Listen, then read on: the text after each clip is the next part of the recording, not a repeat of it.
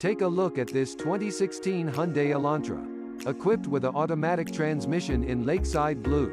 This car comes with some great features including alloy wheels, hybrid, anti-lock brakes, audio controls on steering wheel and more. Come in and check it out today.